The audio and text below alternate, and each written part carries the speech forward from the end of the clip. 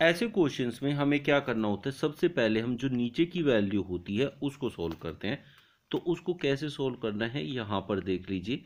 ये दो प्लस एक बटा चार है। तो पहले इसकी इसमें गुणा होती है तो चार दूनी आठ, और ये उसमें जुड़ता है। तो ये बन गया नौ बाई चार। ये जो नौ बाई चार बना यहाँ तो चार ऊपर चला जाएगा, क्योंकि एक बटे में है। तो ये बन जाता है चार बटा नौ। मतलब जो भी आपने सोल्व करके लाए उसका उल्टा आपको यहाँ लिखना है। फिर इसकी गुणा इसमें करनी है नौ तीस सत्ताईस और ये जोड़ना है। सत्ताईस और चार इकतीस बटे नौ बना तो हम इसे नौ बटे इकतीस लिखेंगे यहाँ पर। फिर हम इसे सोल्व करेंगे। इकतीस एकम इकतीस और नौ चालीस तो ये बना चालीस बाई इकतीस। फिर से उल्टा करेंगे तो यहाँ चालीस बचेगा और ये जो इकतीस है, ये इसकी गुणा में चला जाएगा। अब लघुत्तम लेंगे इनका तो इस संख्या को मैं यहाँ लिख देता हूँ, चार माइनस इकतीस गुणा पाँच को हम लिख सकते हैं, एक सौ पचपन बटे चालीस। इन दोनों की गुना करेंगे, चार चौक सोलह, एक सौ साठ।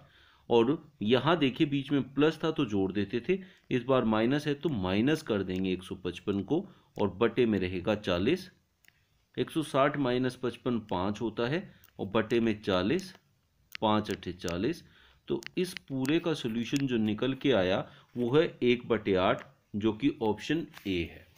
आपने देखा, इस क्वेश्चन को सोल्व करने के लिए सबसे पहले हमने सबसे नीचे वाली संख्या को लिया और एक एक स्टेप ऊपर आते चले गए। सबसे लास्ट स्टेप में आके, जब सबसे ऊपर वाले में हम आ जाते हैं, तब हमारा आंसर आता है। इसको और क्लियरली समझने के लिए एक एग्ज़ाम्पल और ले लेते हैं। ये क्वेश्चन है, जिसमें हमें x equals two one plus one upon one plus one upon one plus one upon one plus one by two दिया हुआ है। इसमें पहले इस x की वैल्यू निकालनी है और फिर उसने कहा है two x plus seven by four का आपको मान चाहिए। तो उसके लिए पहले आपको x सोल्व करना पड़ेगा मतलब ये वाला पूरा सोल्व करना पड़ेगा। फिर से वही करते हैं, सबसे नीचे से सोल्व करना स्टार्ट करते हैं। तो दो एकम दो प्लस एक तीन तीन बाई दो है। तो उसका उल्टा यहाँ लिखा जाएगा, जो कि होगा दो बाई तीन। फिर हम इस तीन एकम तीन, इन दोनों की मल्टीप्लाई की और ये दो ऐड कर दिया।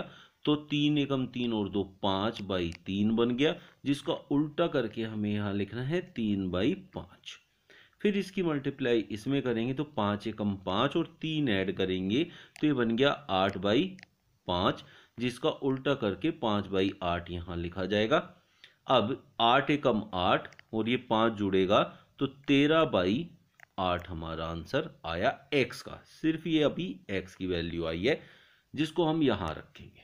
यहाँ रखने के लिए आप ये देखें, दो एक्स है। मतलब दो की मल्टीप्लाई एक्स में होनी है, दो गुणा एक्स की वैल्यू आई थी तेरह बाई आठ प्लस सात बाई चार लिखेंगे। तो आप ये देखें, दो चौके आठ मतलब ये हो गया तेरह बाई चार प्लस सात बाई चार। तो ये बन गया आपका तेरह और सात बीस बाई चार, जो कि हो गया चार पंजे बीस। पाँच आपका करेक्ट आंसर हो गया। तो इस तरीके से इस टाइप के क्वेश्चन को किया जाता है। ये सरलीकरण के क्वेश्चन होते हैं और ये बहुत ज़्यादा पूछे जाते हैं एसएससी और पुलिस के एग्ज़ाम्स में। उम्मीद करता हूँ आप लोगों को अच्छे से समझ में आया होगा। जिसको समझ में नहीं आया, कमेंट बॉक्स में लिख सकता है। जहाँ भी डाउट है, मैं नेक्स्ट वीडियो में आपको एक्सप्लेन कर दूँगा। Thank you.